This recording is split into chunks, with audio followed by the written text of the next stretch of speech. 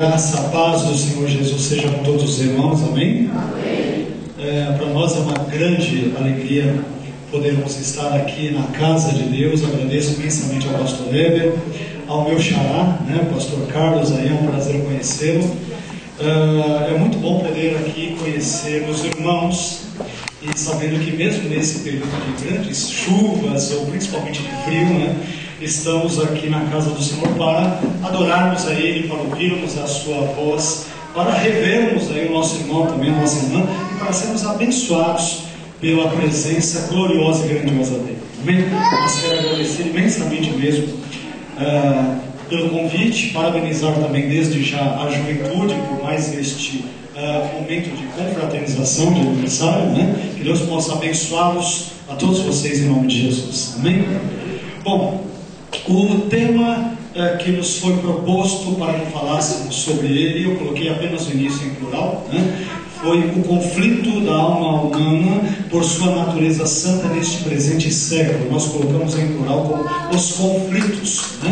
da alma humana por sua natureza santa neste presente século. Não sei se puderem já. Ah, já mais adiantados que eu, né? Ok.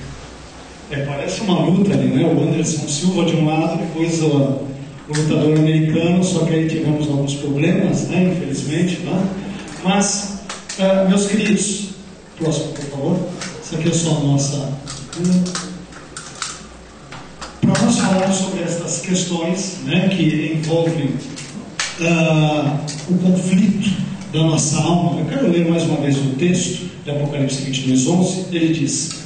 Quem é injusto, faça injustiça ainda, e quem está sujo, suje-se ainda, e quem é justo, faça justiça ainda, e quem é santo, seja santificado. Uh, meus queridos, esse texto ele é extremamente importante porque é um texto que ele faz parte do epílogo de um famoso livro chamado Apocalipse Uh, livro este que uh, teve alguns conflitos também na sua aceitação por parte da igreja, quando da sua canonização. Mas esse texto, uh, particularmente de Apocalipse 22, 11, ele é escrito alguns versículos antes de todo o contexto que fala sobre o trono branco e sobre o julgamento divino, sobre o juízo final. Então, nestes momentos que antecedem este período, é, Deus ele chega num momento ali que ele coloca todas as cartas na mesa e ele diz olha o que as pessoas tinham já para fazer ou para melhorarem ou para mudarem de vida.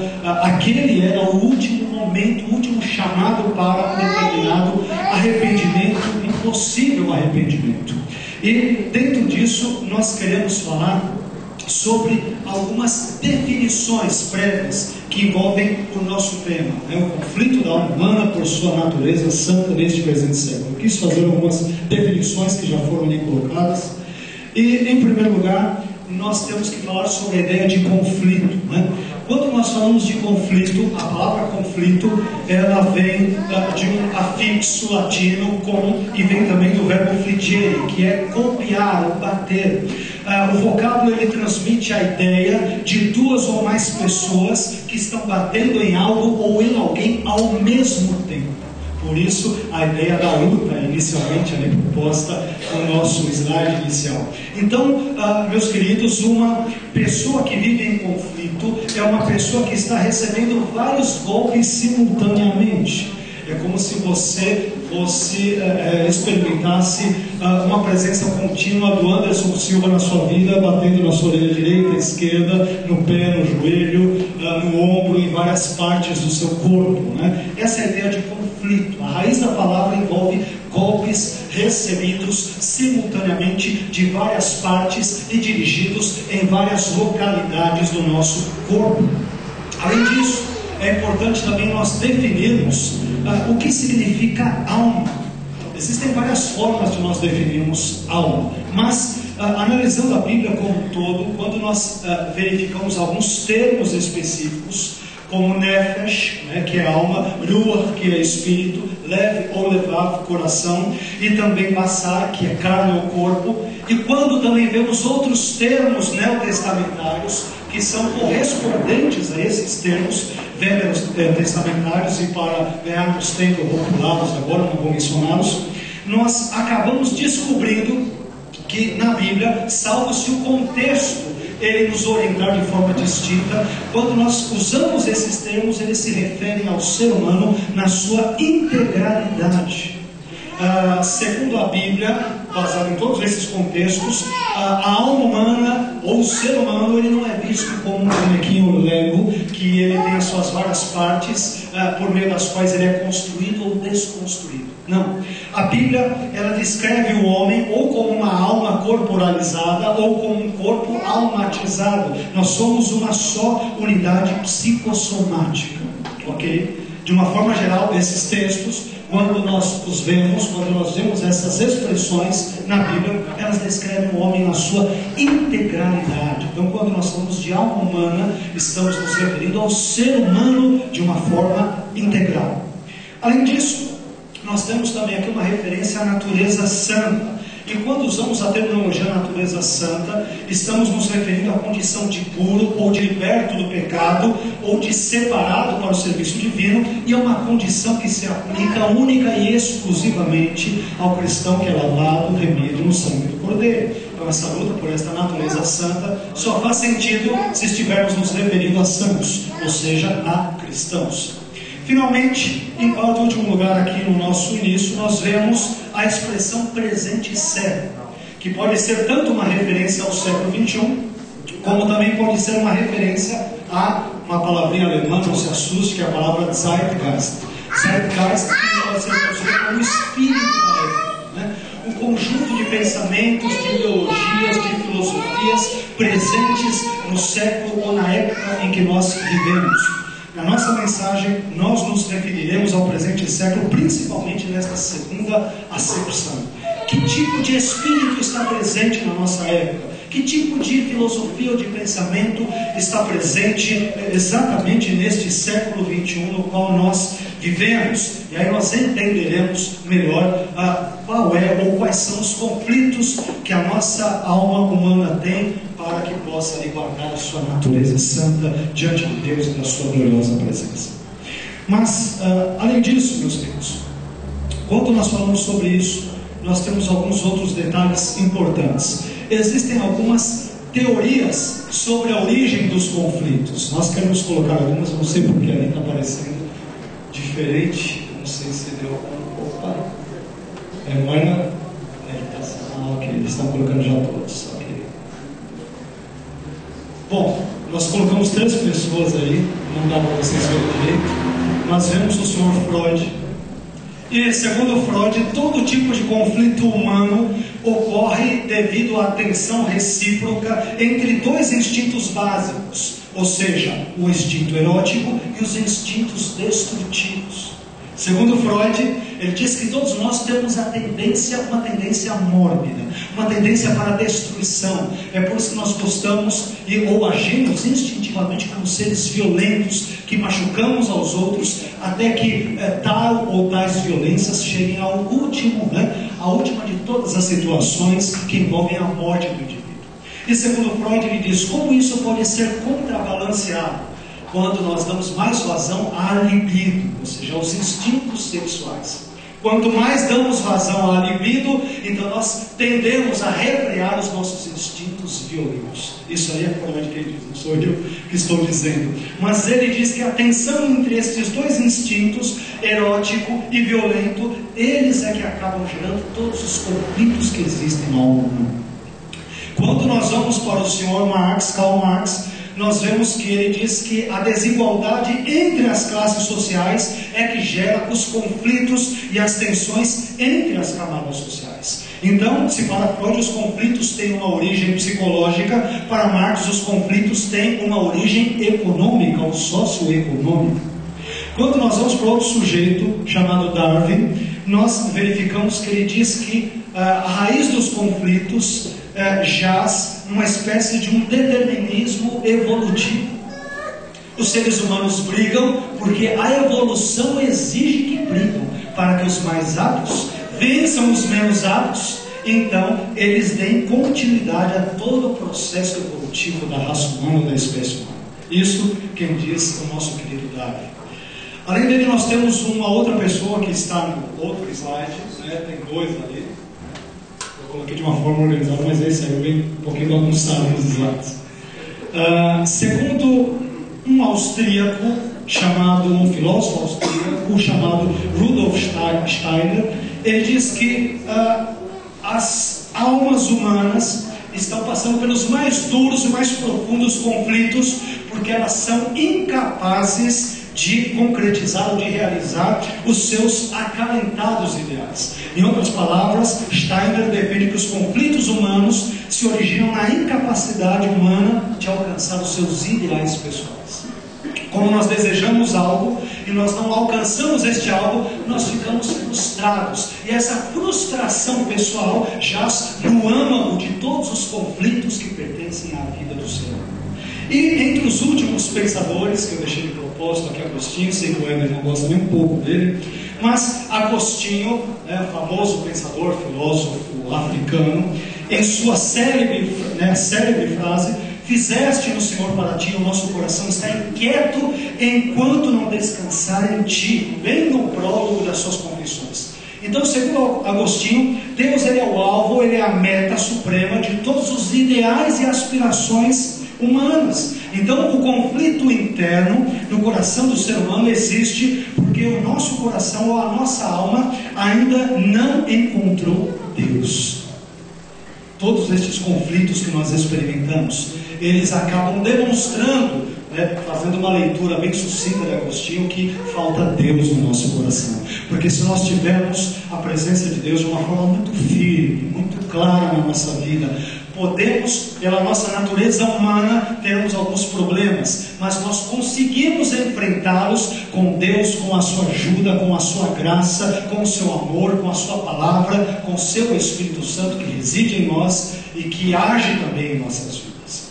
E por fim, nós vemos também no outro slide, né, falamos sobre alguns pensadores, mas para nós é mais importante ainda sabermos o que a Bíblia em si diz sobre a raiz, a origem dos nossos conflitos. Né? Segundo a Bíblia, uh, os conflitos ou conflito humano de uma forma geral, ele surge com o pecado. A Bíblia ela apresenta o pecado como um estado de separação, de alienação da humanidade caída em relação a Deus e a sua soberana e santa vontade. E esse tipo de separação é que gera conflitos entre a criatura e o Criador. E neste ponto, Isaías, no capítulo 59, verso 2, ele é muito claro quando diz: Mas as vossas iniquidades fazem divisão entre vós e o vosso Deus, e os vossos pecados encobrem o seu rosto, o rosto de Deus, de vós, para que ele não os use. Aqui um parênteses ele é interessante. Quando nós falamos da palavra pecado, ou a respeito da palavra pecado, existem vários termos, tanto hebraicos quanto gregos, que falam sobre isso. Né? Poderemos citar aqui o termo hebraico ratá, poderemos citar o termo adiquia, poderemos citar aqui anamia, poderemos citar o famoso ramatia, tudo com ia. Né? Mas é, eu gosto particularmente é, da raiz latina da palavra pecado. Eu não sei se vocês sabem, mas é, a palavra pecado ela vem do latim, tá? dentro do nosso contexto aqui brasileiro, hispânico. A palavra pecado vem do latim pecus. E o que é pecus? Pecus é um pé defeituoso, é um pé que manqueja, é um pé que pisa em falso. Em outras palavras, traduzindo no nosso linguajar, agora para o nosso momento, poderíamos dizer eh, de uma forma bem clara, sem errarmos, que pecar significa literalmente dar mancadas com Deus, pisar em falso na relação com Deus, de maneira que sempre que fazemos isso, nós então estamos expondo o nosso pé, um pé defeituoso, um pé que não sabe andar em linha reta, de maneira que pisamos na bola, né? pisamos em falso, literalmente, na nossa relação com Deus. Não é como você tem andado diante de Deus. Né? Teu pé tem pisado muito em falso, ou você tem, na verdade, buscado andar em linha reta para que o nome dele seja engrandecido e glorificado. Mas, continuando ainda o nosso assunto, eu quero entrar agora no tema com outros detalhes, mais particularmente, por favor, próximo slide Aqui nós vamos falar agora sobre o conflito os conflitos da humana contra os valores do pós-modernismo.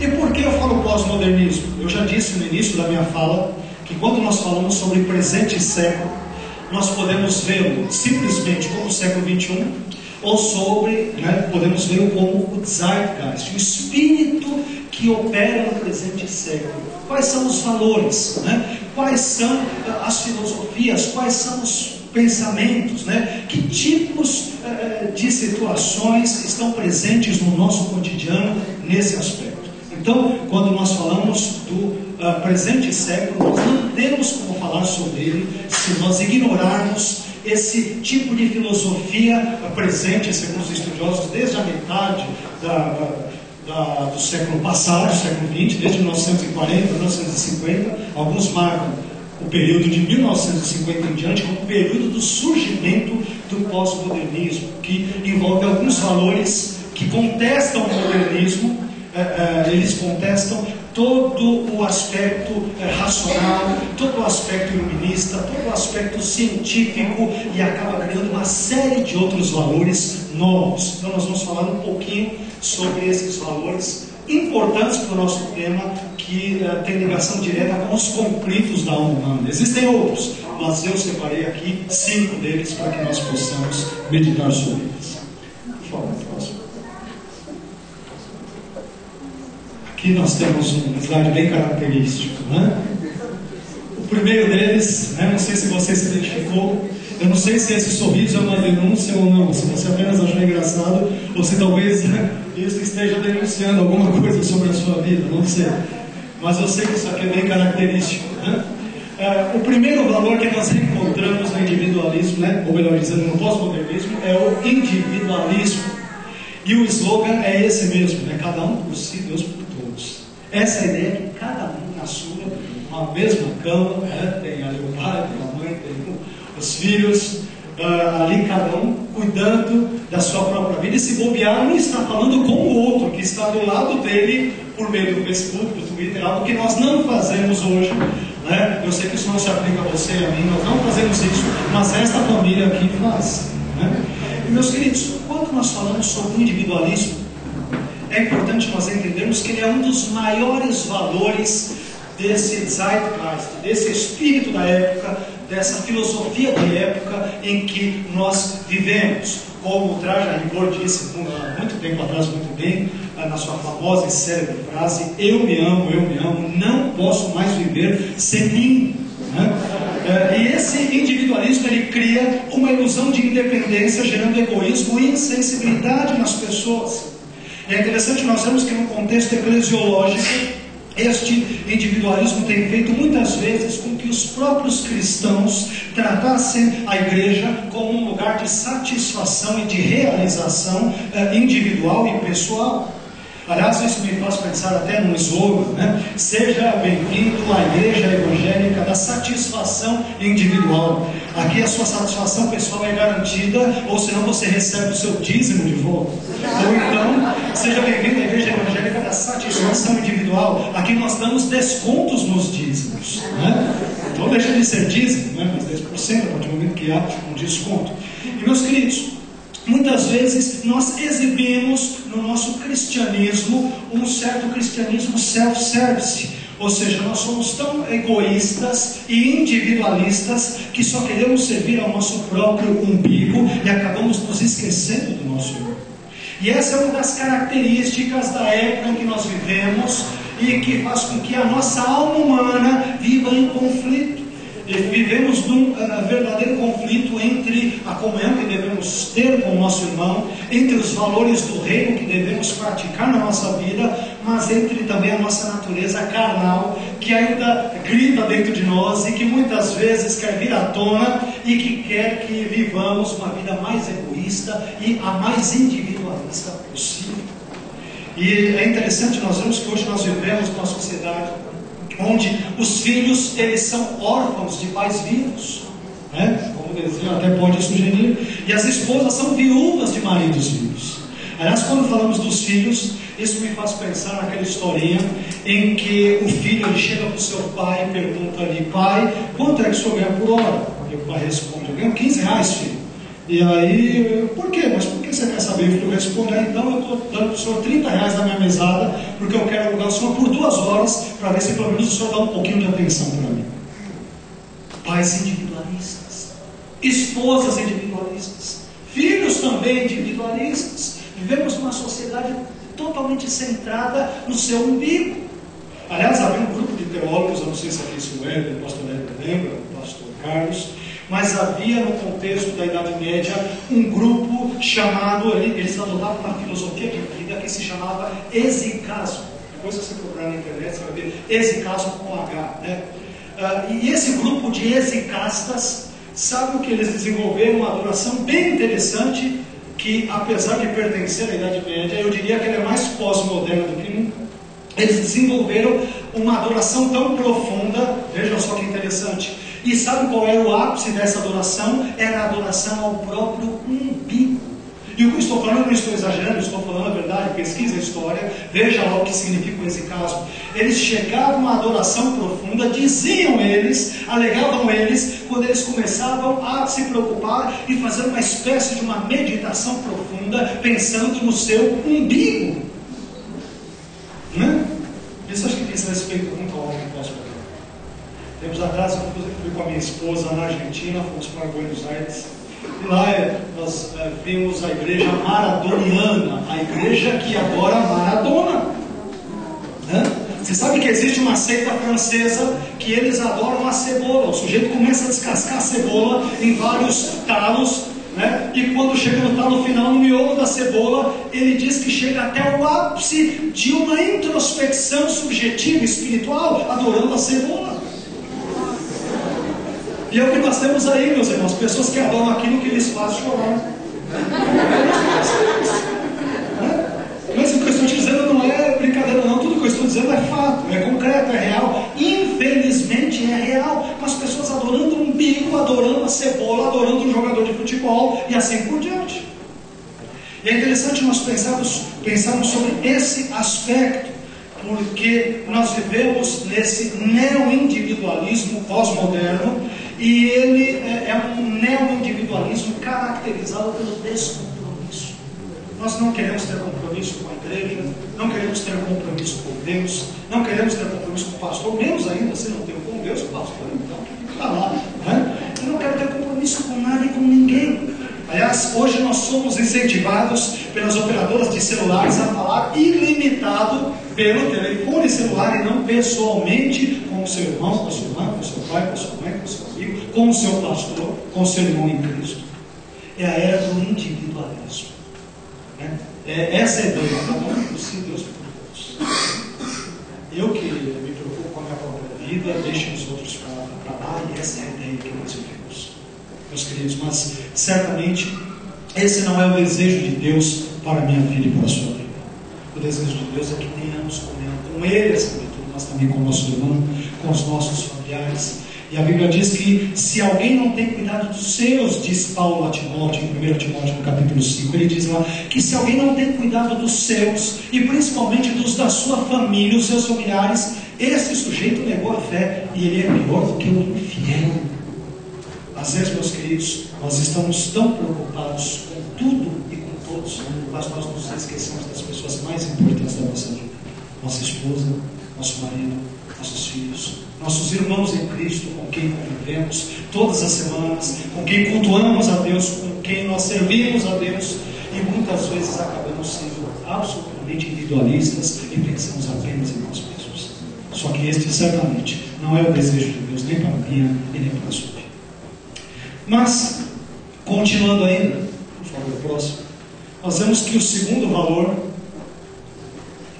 agora entrou certinho, né? Na verdade era para entrar um por um, depois tinha todo, mas não tem problema. Assim, pode colocar, pode colocar todos, agora já vai. Né? Agora estragou a surpresa, né? Dá para vocês verem daí? Dá, né? Bom, o segundo elemento que nós temos o segundo valor do chamado pós-modernismo é algo que os irmãos, e acho que as irmãs ainda nunca ouviram falar. Então requer muitas explicações, né, que é o chamado consumismo. O consumismo. A, a sociedade pós-moderna, que é, é, tem, está repleta de valores contrários à natureza santa que a alma do crente tem, porque ela vale em Cristo, é, nós vemos que esta sociedade ela é exageradamente materialista e consumista e também, por que não dizer, utilitarista. Aliás, esse materialismo ele também tem penetrado, tem estado presente em muitas de nossas igrejas.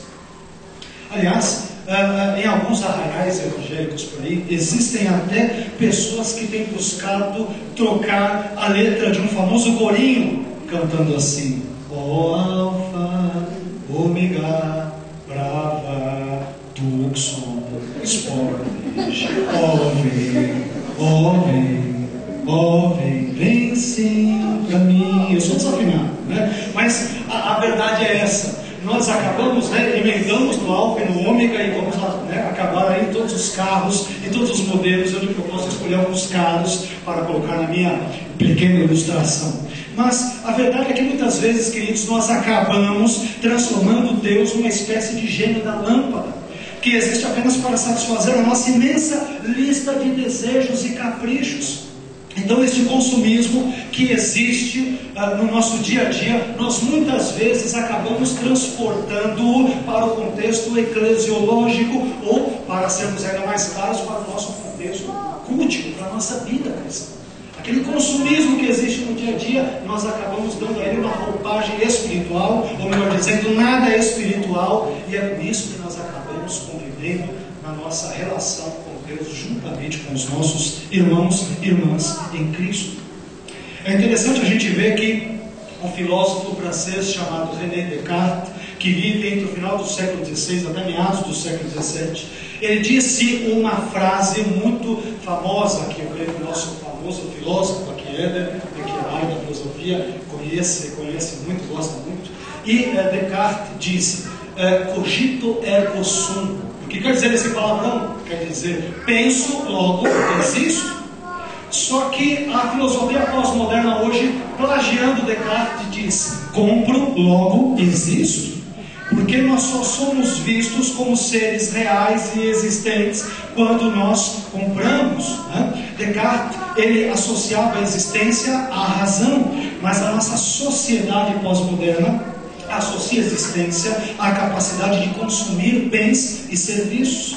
Nós vivemos uma espécie de hedonismo mundano que considera o prazer individual e imediato como a finalidade última da nossa vida. Né? Não estou me referindo aqui ao hedonismo cristão, ensinado, por exemplo, por John Piper e tantos outros, mas o hedonismo mundano. Né? O shopping center ele tem se tornado o altar contemporâneo diante do qual a sociedade tem se curvado.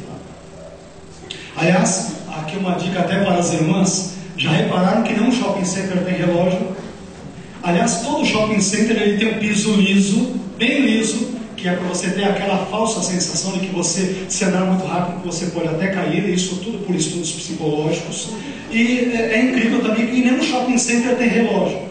Só se você entrar dentro de um restaurante e possivelmente ele também não terá. E a maioria esmagadora das lojas de shopping centers não tem relógio porque é para que você perca o tempo mesmo lá dentro, não somente o tempo, outras cositas mais. Né?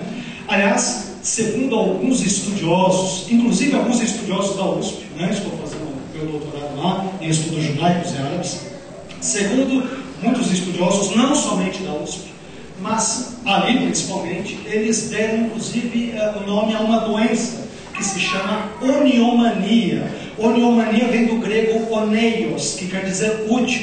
E o oniomaníaco é aquele indivíduo que faz compras de forma compulsiva, nenhum deles está aqui presente nesta noite, mas adquirindo bens de consumo e serviços que, via de regra, não lhe são necessários. A pessoa compra o que é supérfluo, não vai usar? Aquelas irmãzinhas lá que eu nunca vi, tem irmã que ela tem a síndrome da centopeia. Né? Você já viu? As irmãs, normalmente, uma mulher tem quantos pés? Quantos pés uma mulher tem? Só para me lembrar, eu acho que dois. Né? E por que no guarda-roupa de uma mulher ou no seu closet né, tem lá 100 pares né, de sapatos? E o pior é que quando você vai chamar, às vezes, para sair para um evento, ela diz para o marido, para o marido com aquela cara de pau: bem, eu não vou lá porque eu não tenho um par de sapatos para usar. Né? Mas a mulher que tem a síndrome da centopeia só tem dois, mas compra sapatos como se tivesse 100. Né? 95%, eu estou sendo ainda otimista, do guarda-roupa é da mulher, 5% é do marido. Né? Mas 95% é dela. E aí, eh, meus queridos, é interessante que essa questão da compra compulsiva é tão interessante. Que existem irmãos que de tanto comprar hoje estão tão endividados, mas tão endividados, que eles estão torcendo para Jesus voltar logo, arrebatar a igreja pois assim eles sobem e eles não têm que pagar as suas dívidas. Mas existe um problema, meu. Se a pessoa a quem você deve também for crente, então ela subirá com você também. Então lá em cima vocês terão que acertar as contas. Eu quero ver quebra-pau no céu, não. Né? Aliás, também, eu vou dizer algo aqui, confessar algo para o meu xará, para o pastor Carlos. Pastor Carlos, eu descobri tempos atrás, depois de muita oração, Deus me revelou o nome de alguns nomes de demônios que estimulam as pessoas a serem cada vez mais consumistas. E é importante que saibamos o nome desses demônios, a fim de que possamos exorcizá-los de forma mais eficaz. O primeiro demônio que Deus me revelou o nome é tá barato. Tá barato é o nome de um demônio que as irmãs têm que tomar muito cuidado, esse demônio é extremamente maligno. Né? E normalmente as irmãs se deixam influenciar por ele. O outro demônio que Deus me revelou o nome se chama promoção. Esse daí as irmãs também não gostam, igual de tudo esse consumismo aqui que existe na nossa época. O terceiro demônio, parente dele, se chama liquidação, que também é terrível.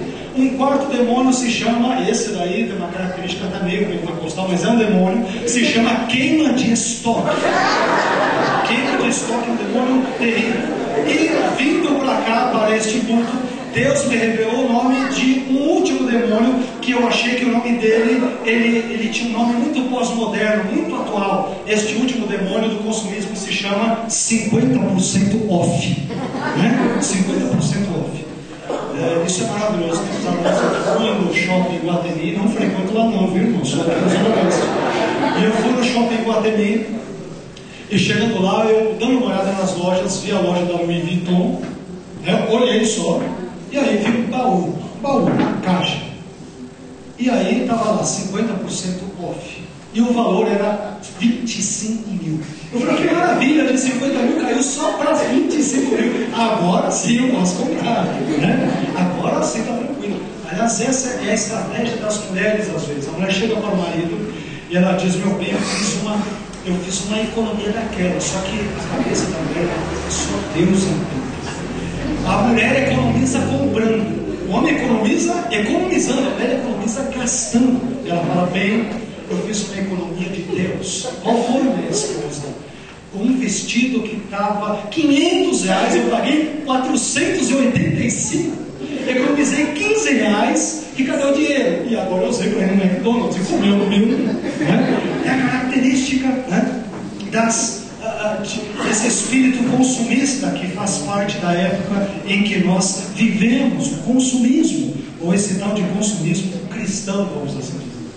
Mas, queridos, como nós podemos viver, né, ou vencer, melhor dizendo, viver vencendo este espírito consumista que está presente na nossa época? O apóstolo Paulo, ele responde a esta pergunta em Filipenses, no capítulo 4, verso 11, onde ele diz: Já aprendi a contentar-me com o que tenho. E eu te pergunto, e você, será que você já aprendeu a se contentar com aquilo que você tem? E a verdade, meus irmãos e irmãs, é que nós muitas vezes somos insatisfeitos e tremendamente descontentes com aquilo que nós temos. Não gostamos do nosso rosto e por isso fazemos inúmeras cirurgias plásticas. Aliás, tem irmão realmente que não precisa de uma cura interior, mas exterior. É verdade, eu sou deles. Mas, quando eu digo isso, é interessante que nós não gostamos da cor dos nossos olhos, de maneira que hoje existem até procedimentos cirúrgicos para repigmentar a cor dos olhos. E pessoas pagando uma fortuna para isso. As mulheres não estão satisfeitas com o marido cinquentão e querem trocar o marido cinquentão por dois de 25, 25 anos. Né? O marido também tem a mulher quarentona não quer ficar com a mulher quarentona, quer trocá-la por dois maridos de 20. A verdade é que nós não estamos satisfeitos com aquilo que nós temos. Se pertencemos a uma igreja pequena, queremos ir para uma igreja grande. Se vamos na igreja grande, reclamamos porque ninguém nos vê, somos invisíveis ali, o pastor não menciona o nosso nome, ele não nos cumprimenta, então queremos voltar para a igreja pequena. Nós nunca estamos satisfeitos com nada. Há um espírito consumista dentro de nós e que faz parte dessa era em que nós vivemos. E esse consumismo nós acabamos inclusive projetando para o ambiente fútil e acabamos transformando a igreja num supermercado, é o cristianismo de consumo. Né? Aliás, este uh, uh, último desenho aqui é de uma igreja fechada na Inglaterra, que tem um vitral, e agora virou um supermercado dentro da igreja, da antiga igreja, claro. Eu coloquei de propósito estas imagens ali, é outra máquina de cartão dentro de outra igreja também. E por que usar essas imagens que uh, são propositalmente fortes e têm uh, o intuito de nos chocarem de fato? Porque muitas vezes nós transformamos a igreja num grande supermercado. Você, você, viu, você, você vai no supermercado você tem de tudo. Você vai comprar pasta de dente, tem várias marcas. Vai comprar até uma esponja de aço, tem Bombril, tem Assolan. Vai beber um refrigerante, tem Coca-Cola, tem Pepsi-Cola, tem Guaraná. Tudo que nós formos ali ou é, comprar no supermercado, nós temos é, muita variedade. E muitas vezes, com essa nossa visão consumista, humana, é, maligna, nós vemos com esse intento ou com esse intuito também nos nossos cultos. Chegamos na igreja e nós vemos Deus, a igreja, o culto, a pregação como bens de consumo. Se a pregação for boa, eu vou dar uma oferta maior se ela for aquelas coisas e tal, tal, tal, não. Se o culto não tiver tão bom, vou frequentar duas ou três igrejas. Aqui tiver uma melhor pregação, eu vou lá. Ah, mas o louvor daquela igreja é ruim, então eu vou ver a pregação desta igreja, o louvor da outra, vou consumir a adoração da outra, as campanhas de oração da outra, e nós nos tornamos consumidores gospel. Né? Apenas buscamos a Deus por aquilo que Ele pode nos dar e não por aquilo que ele essencialmente é. Esse espírito consumista mundano que diz respeito a compras humanas, ele adentrou em muitas de nossas igrejas. E hoje nós muitas vezes servimos a Deus apenas por aquilo que Ele pode nos dar. Se Ele for nos curar, então nós queremos servir. Se for nos abençoar, queremos servir. Se Ele for fazer algo em nossas vidas, nós queremos servi-lo. Caso contrário, se Deus, se Deus não agir na nossa vida do nosso jeito, então nós não queremos mais saber dele, da palavra dele e da igreja dele. Meus queridos, que Deus possa nos livrar disso. Que Deus tenha misericórdia das nossas vidas se nós assim vivemos com tais tipos de pensamentos ou filosofias mundanas e humanas presentes no nosso coração. Além disso, por favor, posso. Nós vemos que o terceiro, o terceiro valor, a terceira característica da nossa época, que é um dos valores do pós-modernismo, que tudo é veloz, tudo é rápido, é o tal do imediatismo. Pode passar os outros também, já pode colocar todos juntos. Obrigado, viu? Um aí que eu coloquei de propósito, é, tem interessantes. Em nossa época pós-moderna, meus queridos, tudo é urgente, tudo tem que ser rápido, tudo é para ontem, tudo é para ontem.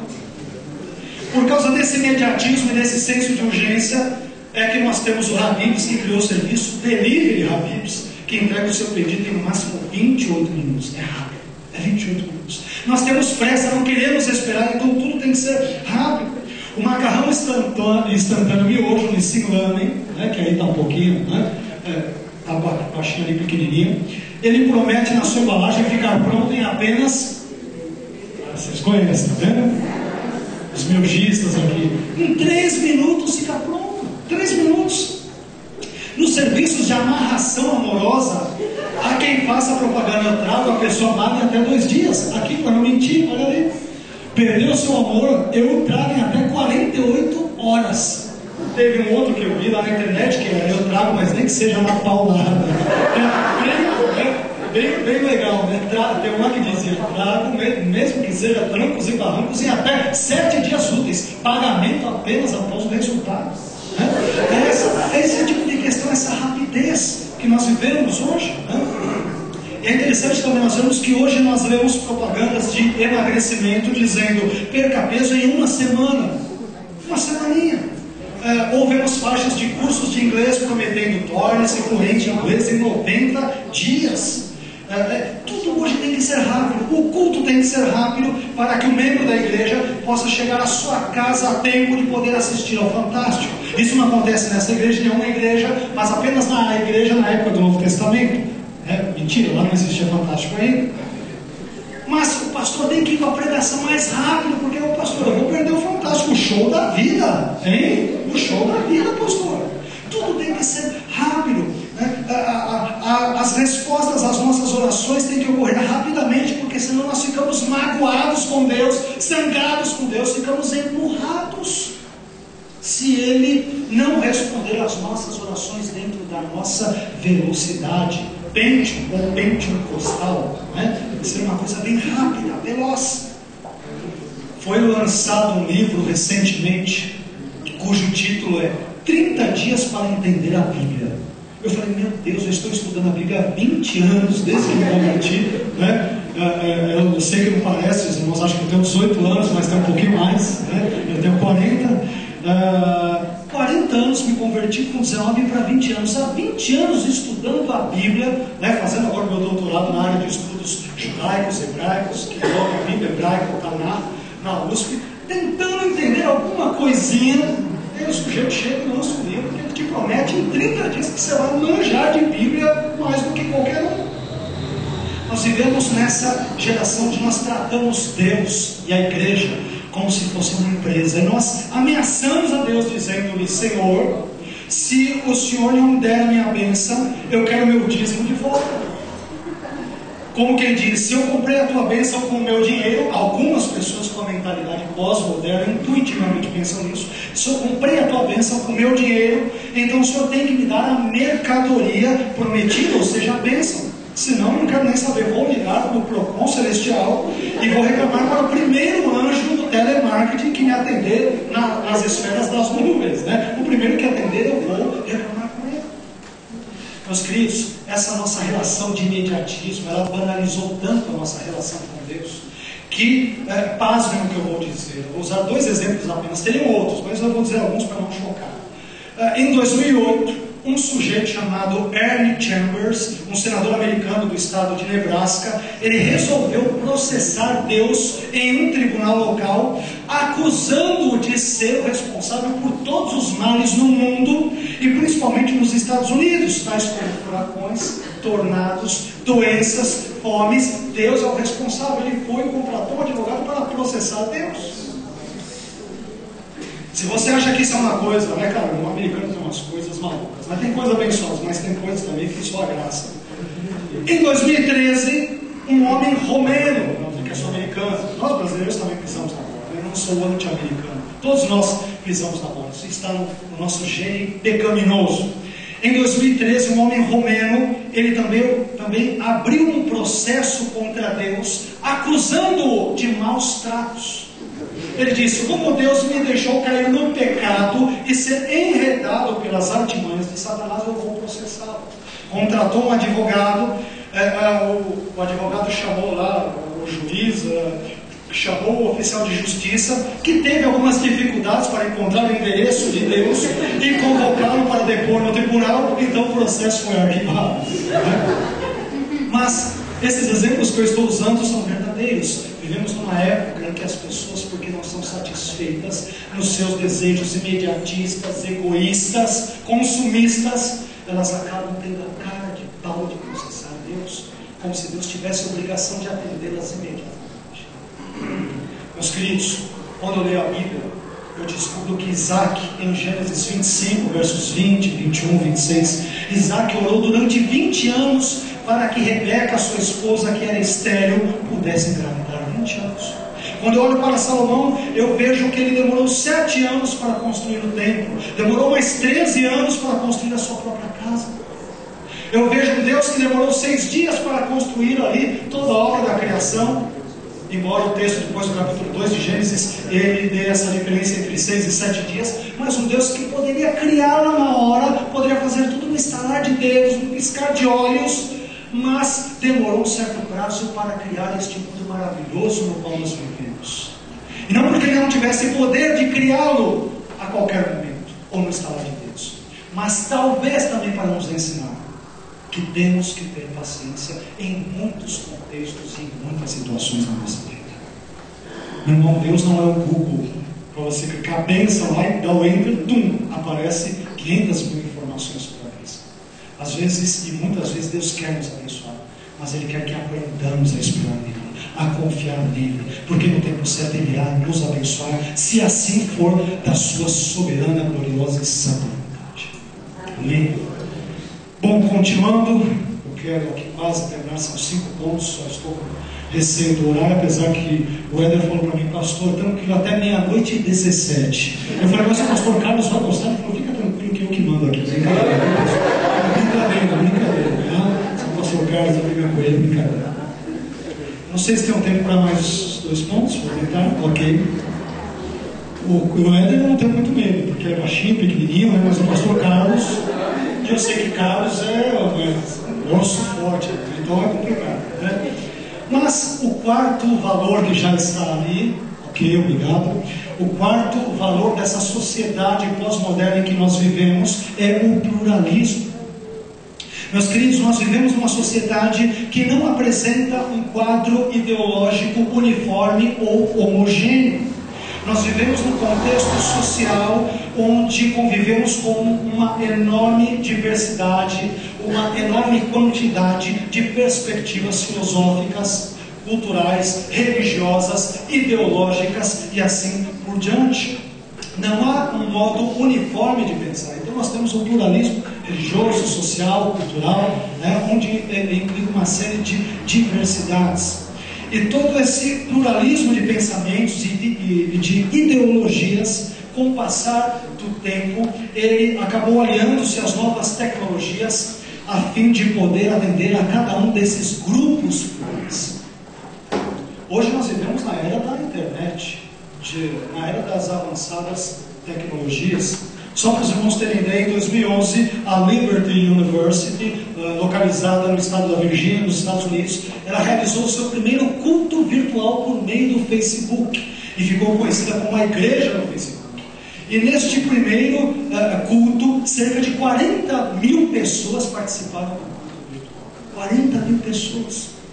Uh, ainda em 2011, uma igreja católica brasileira, aqui no estado de Goiás, ela construiu um site no qual os fiéis eles podem acender velas pela internet.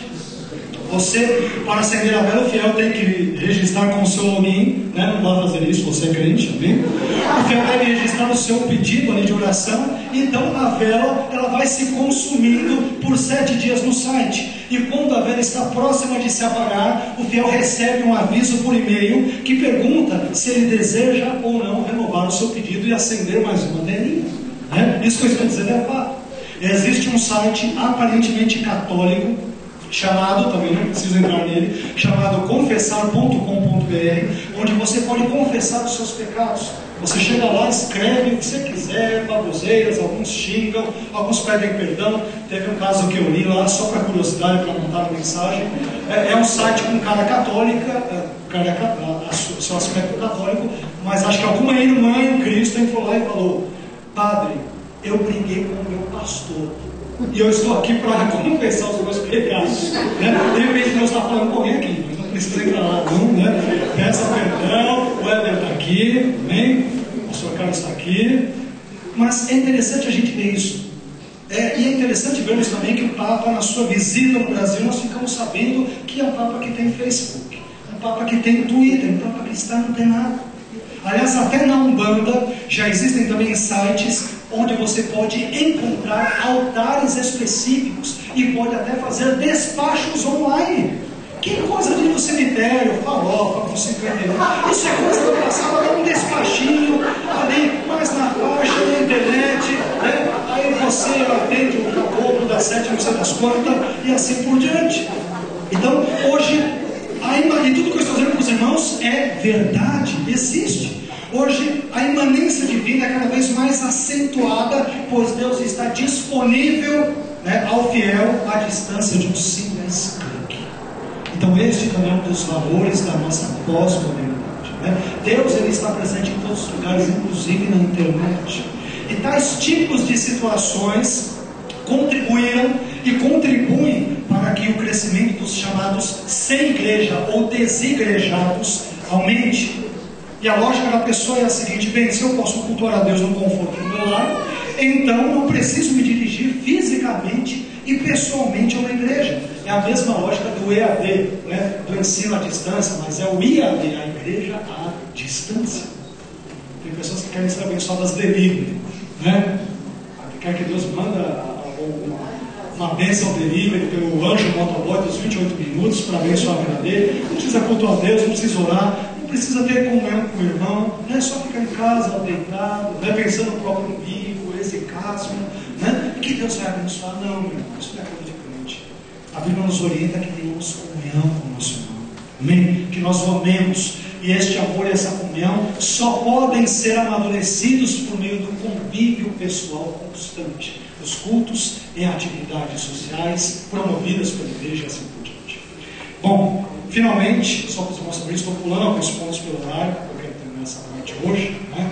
porque amanhã, senão amanhã eu serei proibido de entrar aqui. Eu imagino o Éder lá na frente com a mão na cintura, com esse tamanho de homem, com esse medo, esse respeito. Pastor, você não entra porque ontem você ultrapassou o horário e eu pastor Carlos vamos te pegar de pau fora. Né? Mas, queridos, brincadeiras à parte, em último lugar, por favor, último slide, penúltimo, aliás, né?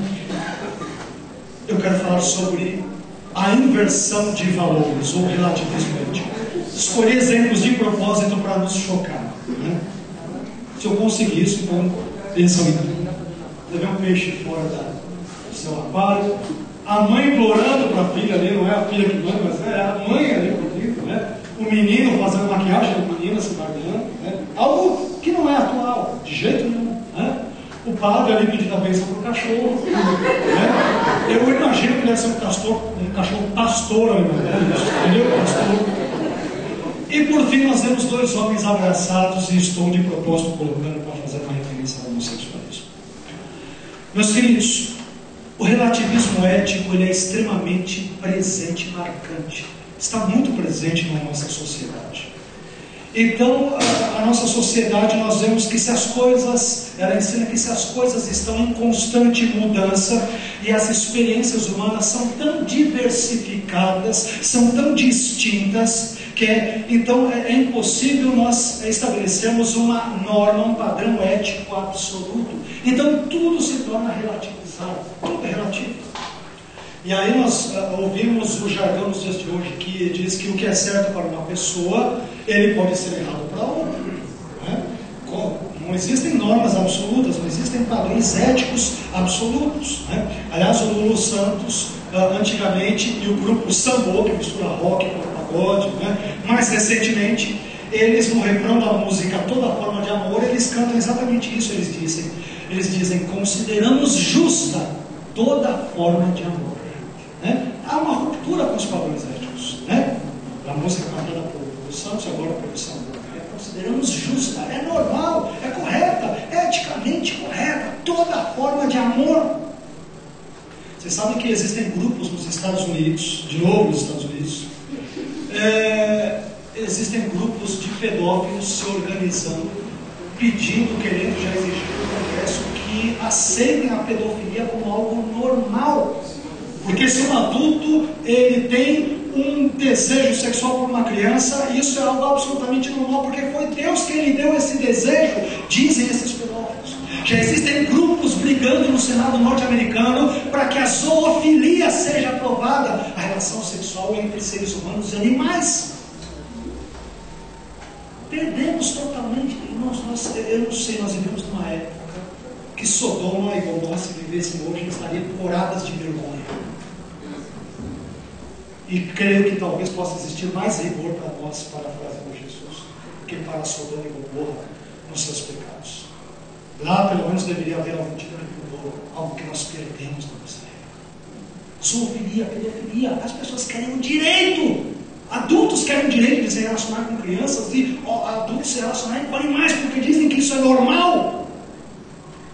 Esse é o mundo que nós vivemos hoje, relativismo ético. É isso que nós experimentamos.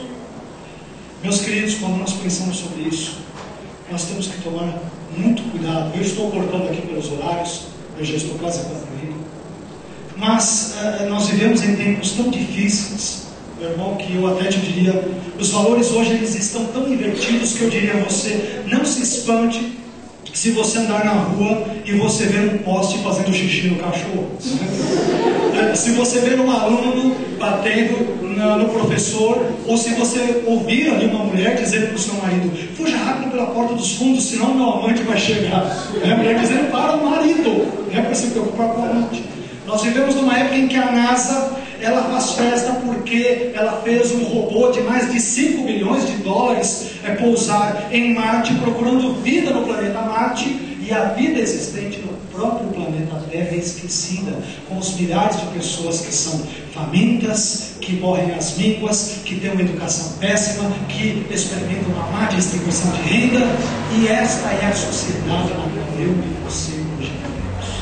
Que Deus nos dê graça para vencermos todos estes valores mundanos é, que de fato estão presentes em nossas vidas e que justamente acabam causando uma série de conflitos entre nós e Deus e entre a nossa natureza santa, entre o que devemos fazer e aquilo que não devemos fazer. Finalmente, dando um resumo do que nós falamos hoje, uma conclusão, depois eu quero orar, passar para o pastor Mas uh, no presente século, os conflitos do homem têm ocorrido sobretudo no campo das ideias, valores do pós-modernismo, é o que nós falamos. Os verdadeiros inimigos do homem contemporâneo eles são invisíveis. E por isso mesmo eles tornam-se ainda mais perigosos e nocivos. São pensamentos sutis recheados né, de valores mundanos, totalmente antibíblicos e contrários à vontade de Deus. Tais valores eles foram e eles estão sendo propagados pelo espírito da nossa época, que atende pelo nome de pós-modernismo.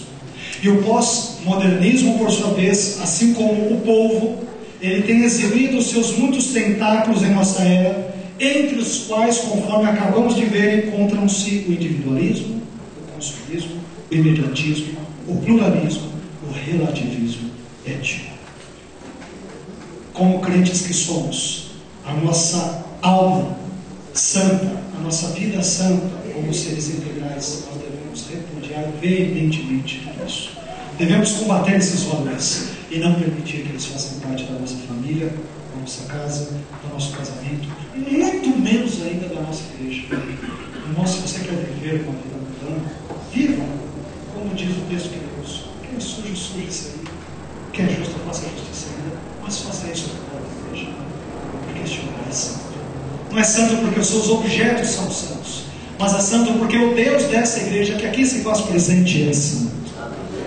Então que Deus nos ajude a enxergarmos estas situações, a termos consciência destes inúmeros perigos que nos rodeiam tão de perto e que são extremamente perigosos porque não podemos visualizá-los com os nossos olhos humanos. Que Deus nos ajude a a detectá-los a combatê-los, a repudiá-los, para que tenhamos uma vida cada vez mais santa e agradável diante de Deus, conforme a nossa vida cristã. Amém? Eu quero te convidar a ficar em pé, por favor. Peço desculpas ao pastor e ao pastor Carlos por passado alguns minutos, aquelas 10 horas, né? Pulei alguns pontos aqui me Mas eu espero que Deus tenha falado com você nesta noite. Ele falou por meio dos cânticos, falou por meio dos, do texto bíblico lido, ele fala por meio da presença gloriosa do seu Espírito à nossa consciência. Eu espero que Deus tenha te abençoado e tenha também te cutucado, te incomodado com alguns desses valores ou com todos eles mas que você saia daqui com a sua mente renovada, não segundo os padrões do mundo, mas conforme os santos e eternos e gloriosos, gloriosos padrões de Deus. Amém? Feche os teus olhos. Pai, eu quero te agradecer por este texto lido, pela tua palavra e por este culto. Te agradeço, Senhor, por tudo aquilo que o Senhor fez, não somente nesta noite, por aquilo que o Senhor falou conosco, mas também por aquilo que o Senhor começou a falar nesta igreja durante toda esta semana de festividade. Pai, que o Senhor nos dê graça para vencermos todo este presente cego, com todos os seus valores mundanos, contrários ao Senhor, à tua vontade, à tua palavra. Que o Senhor possa tratar com os nossos corações, com as nossas mentes. Ah, Pai, queremos sair daqui diferentes nesta. Não queremos ter esses valores do mundo em nossos corações. Não queremos ainda dar guarida ou acalentar esses valores essas filosofias extremamente mundanas que não te glorificam, ó Deus, e que são contrárias à santidade da tua pessoa, da tua palavra, Senhor. Pai, nós não queremos sair daqui com os nossos pés manquejando, pecando, pisando na bola com o Senhor. Mas queremos sair daqui restaurados na nossa relação contigo, Pai. Esse é o propósito maior da nossa vinda a este culto nesta noite. Estamos num dia tão frio, poderíamos ter ficado em casa, assistindo um bom filme, comendo uma pipoca com a família. Ah, Pai, nós viemos à igreja porque precisamos do Senhor. Precisamos nos arrepender dos nossos pecados. Precisamos urgentemente mudar de vida. Precisamos que o Senhor faça uma faxina em nossas vidas e tire todos os valores mundanos e os substitua pelos teus valores eternos e divinos. É por isso que nós viemos aqui neste mundo e todos os demais, porque precisamos urgentemente sermos transformados para que nos pareçamos cada vez mais com o teu filho Jesus. Trabalha na nossa vida, Senhor. Trabalha no nosso casamento, trabalha na nossa família. Tudo que temos e somos, colocamos diante da tua presença. Te pedimos perdão por todo comportamento, ideologia ou filosofia mundana a qual tenhamos dado guarida até o presente momento nos perdoe e nos ajude a não fazermos mais estas coisas, ou não termos tais tipos de valores presentes no nosso coração, valores estes que são absolutamente contrários à tua palavra. Trabalha na nossa vida e livra-nos de todo o mal. É o que nós pedimos, agradecidos, no nome de Jesus. Amém. Deus te abençoe, querido. Muito obrigado pela, por emprestar os seus ouvidos gentilmente durante esse tempo. E é uma grande alegria estar aqui. Espero que Deus os abençoe ricamente. Amém?